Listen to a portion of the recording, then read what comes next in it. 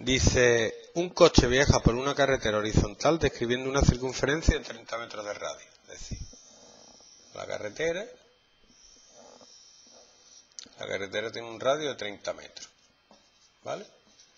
Y el coche va dando la curvita. Y te pregunto, si el coeficiente de rozamiento estático es 0,6,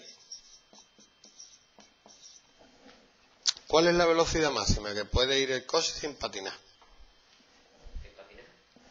Hay una velocidad máxima que puede alcanzar coche. Si se pasa de esa velocidad, se sale de la curva. Hace pi, patina, se le va de atrás. ¿Por qué? Tú miras coche. Esto es coche, visto desde adelante. La carretera. Viene para acá, estando la curva para acá. Y entonces.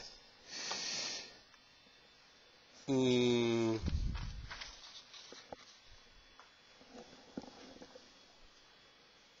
si va dando la curva para acá, está dando con las ruedas.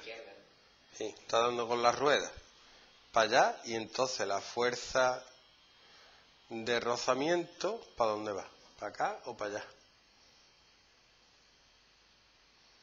Para que dé la curva, se empuja para allá.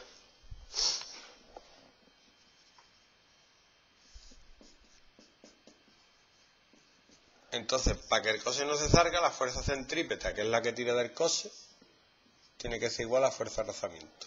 Si no, el coche se sale. Se sale de la curva.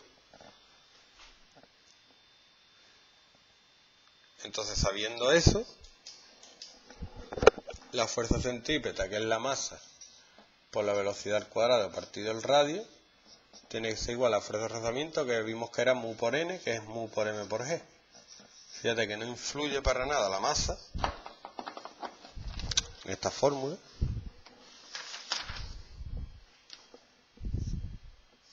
Y que para saber la velocidad,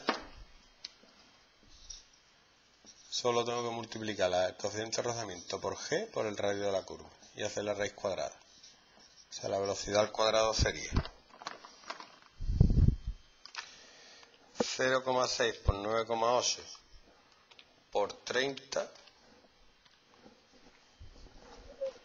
176,4 y la velocidad sería en metros por segundo la raíz de eso 13,28 metros por segundo.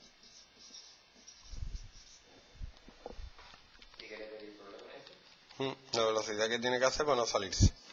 Nada, ni 50 kilómetros hora. Nada